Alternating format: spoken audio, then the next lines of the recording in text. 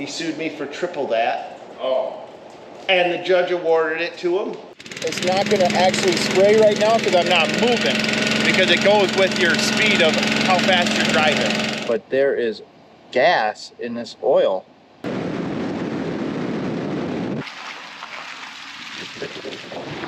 It's the bridges. The bridges are where it's dangerous. Right here. Look at this. You can see, see that? All right, guys. Here's the tale of the tape. 577 crashes last night, 168 spinouts, 23 jackknife semis, and that does not include just what happened overnight. Basically, long story short, we've got black ice conditions. We don't have a lot of snow, we got ice. And in Minnesota, we'll have twice as many icing events as we'll actually have plowing events. And Alex is coming in here. This is the first time we're gonna be setting the system up this year. And, and there's always problems with the first go around. Almost always problems. Um, so let's just get this ball rolling. All right, so we got the brine maker tucked away in our shop here. Go ahead and pull this out. Get it thrown on the truck for the first time this year. Probably gonna run it through the motions a little bit. We did it when we pulled it out the first time, but we'll just do it again before we use it. So last year we bought our very first brine maker and Alex is completely sold on brine. He freaking loves this thing. The unit we bought is by VSI and they have different sizes and different configurations available. So I highly recommend going and checking it out, checking it out before you just pull the trigger. Now the one we got that Alex really likes just slides right into the back of the truck so we don't have to carry this thing around all the time and we just keep a skiddy handy and a set of forks, slip it in, slip it out, and boom, Bob's your uncle. But now this is not the normal truck that we typically use this brine maker on. This is Alex's new truck and he wants to start getting this prepped and ready for snow. So we've got to make some adjustments because it's a different height. All right, well it's that easy. Go ahead and throw a couple straps on it. Fire it up here in a bit and see how it goes.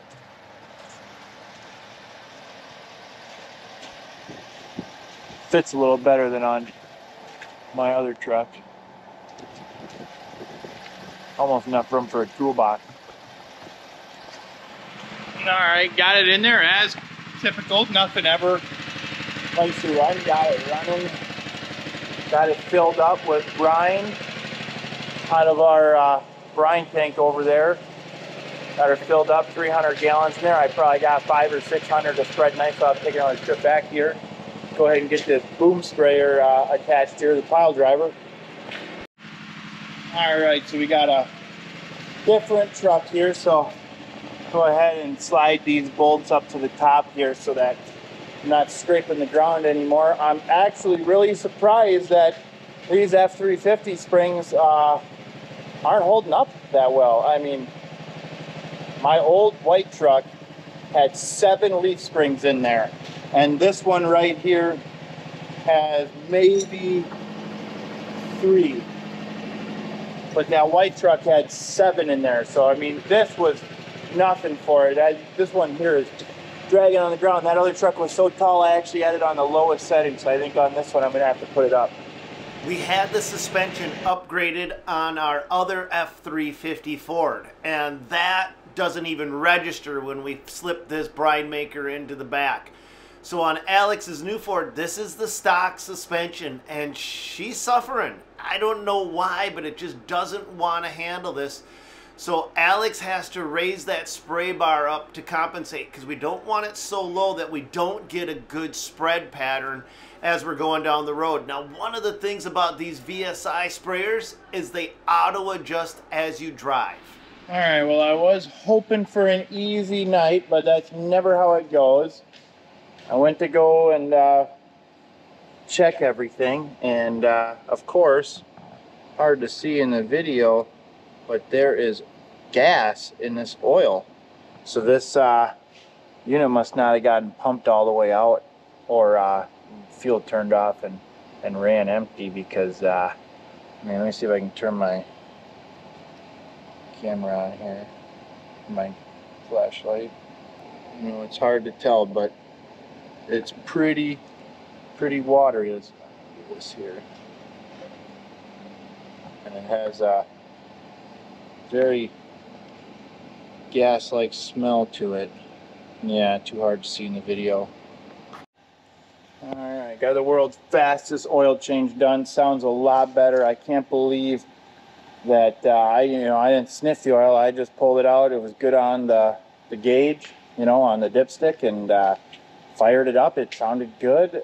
And eventually it ended up sounding like crap and pulled that off. And sure enough, gave it a whiff. There was some fuel in there. Lucky for me, I had some uh, 10W30 Honda oil down here. This thing should be ready to uh, run, just a temporary strap over the top so it doesn't slide around while I'm driving it. But I'll go spread this uh, brine. It's only been two hours trying to get it uh, set up. So we're gonna go out and dial the system in. What are we gonna put, 70, 100 gallons on it? Yeah, probably just a little bit, just test it out. Now you had to change oil on it Yeah. and a new battery, right? Yep, new battery, changed the oil on it. I had to adjust the bar because by the time I had it fully loaded, the truck sagged so much that the bar was only 10 inches off the ground, so then I had to readjust the bar on there. So you're not getting any weight distribution on, or any spread out No, of it? Yep. no, and we're gonna have to upgrade the suspension on this truck too, just because it sags so much, I couldn't believe it.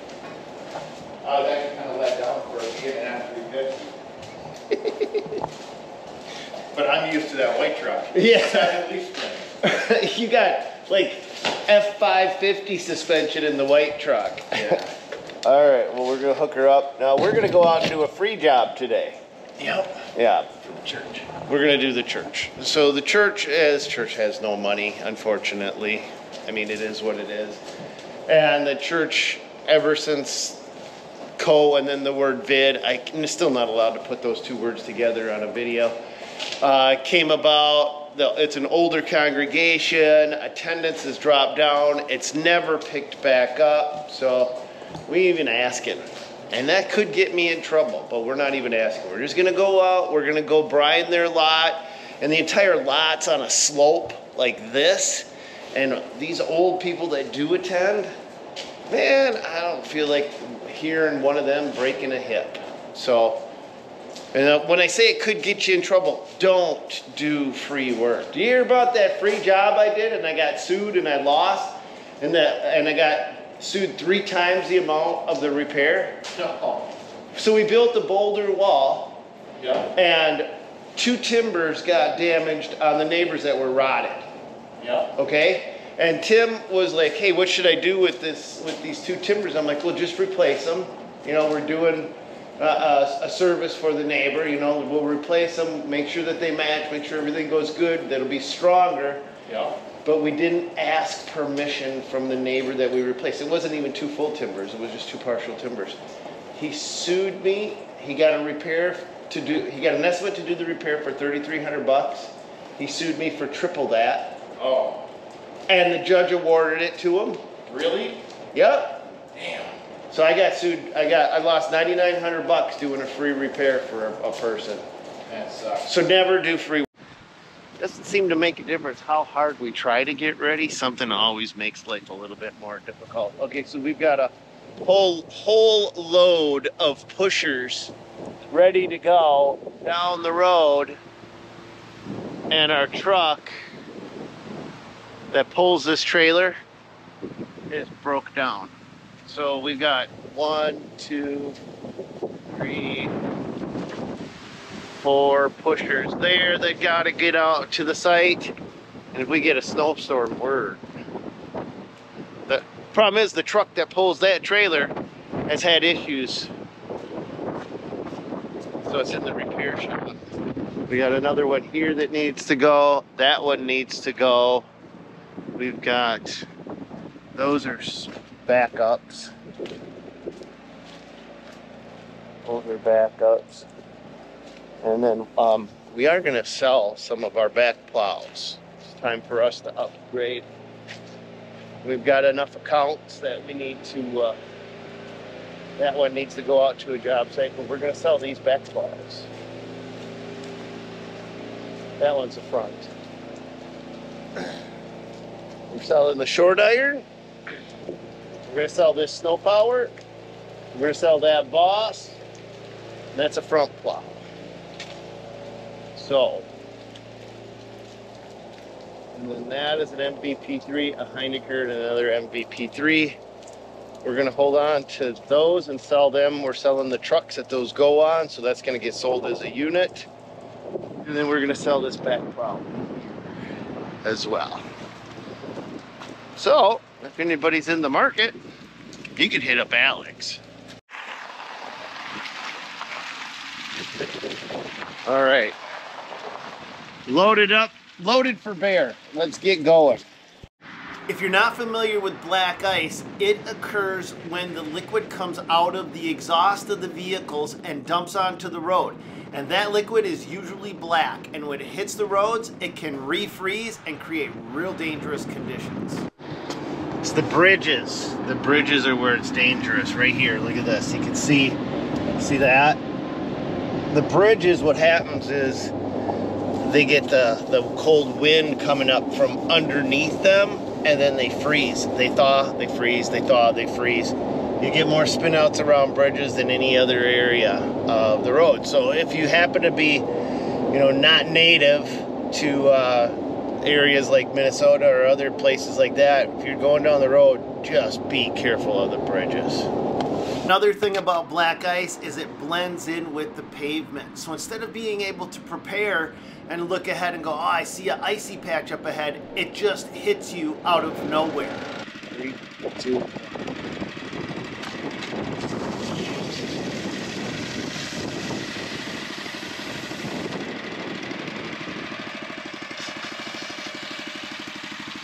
everything's working. So All right. now, now I can switch it to auto and run it. So Alex just demonstrated was the ability to control the left, right, or center boom independently. And this also tracks how much material you put down, which is absolutely huge to protect yourself against slip and falls.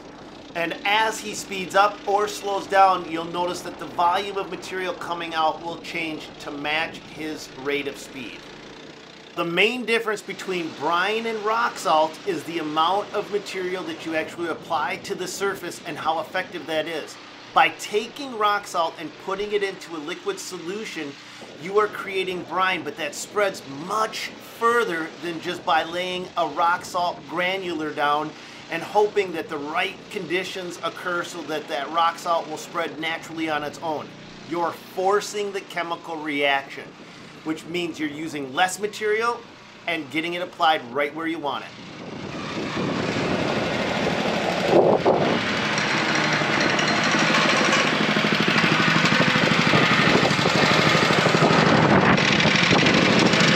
I like how it has that automatic stop too. So if this button accidentally got clicked, it wouldn't just rip your head off while you're driving. It automatically stops. Like right there, it just stopped for me. All right, Alex, you've used it now for a year. Walk me through this, will you? This is the Legacy Series by VSI. Uh, gas engine right here. Everything's controlled by your phone.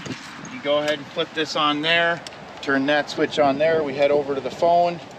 We go right here to details. It pops right up on here for connection. I connect to it. I can come over here. I can turn the choke up. You can see the choke actually coming and electronically going right there. Holy crap. Okay.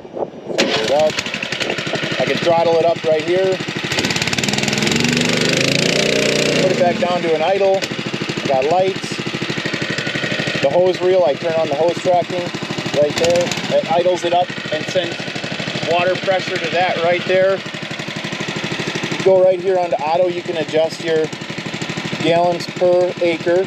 You know, if your pre-treatment going to be at 40, and I believe post-treatment is more like 80. If I can remember right, it's been a while since we went Yeah. over this kind of stuff, but Yep. I'm pretty sure it's 40 and 80. Those are pretty easy numbers to remember, but then it's just a matter of clicking these on right here. It's not going to actually spray right now because I'm not moving. because it goes with your speed of how fast you're driving.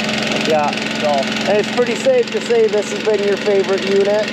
oh, for sure, yeah. Yeah, I yeah. I had never done anything before, and and this is a totally different game right here. The amount of money you can make with it, and the good you're doing for the environment with it, it definitely is. A Uh, lot less salt use. yep, way less. 30% uh, compared to what you're using with rock salt. Yep. Yep. All right. Well, and we're actually looking at buying a second unit. Yeah, we got an opportunity to possibly brine a lot of other accounts. So, So we got a lot of schools, and the schools, since it's for the public, right? yep, They're interested in the least amount of salt usage possible, so that's perfect. right, yeah. That's a perfect application for a brine unit because they know how much less salt you're using. So especially like the municipalities like that they they are more keen to observing how much salt they put down rather than like a commercial lot where they just want it down they just want it down, just make sure no one slips and falls. exactly But this also tracks. That's the other thing too. This will actually track when you put it down, your application. how many gallons you use and you can even set it up so that i believe it can show you a chart on there of where you went there, Right. I. That's huge. That eliminates slip and falls because if you did your job Mm-hmm. and you have to go to court, if you're in the salt, if you're in the snow game, you need to have that absolutely hardcore record to Yep. protect yourself from slip and falls because that's what happens. yeah some people it actually happens to them and, it, and it's unfortunate but there's other people that are out there just to get you Yeah. you know they're out there just looking for money And that's gonna call it for this video. We got out here, we got the entire church parking lot treated. We won't have any of the old folks falling and slipping on us. And uh, they don't even know we were out here, which makes it even kind of better, in my, yeah. my and they won't even know i mean their lot will be white but Yep, yep. That's it for this one. God bless. Go get them. Stay safe. Stay warm, my friends. And wherever you are, I hope you have an awesome day. Catch you on another one.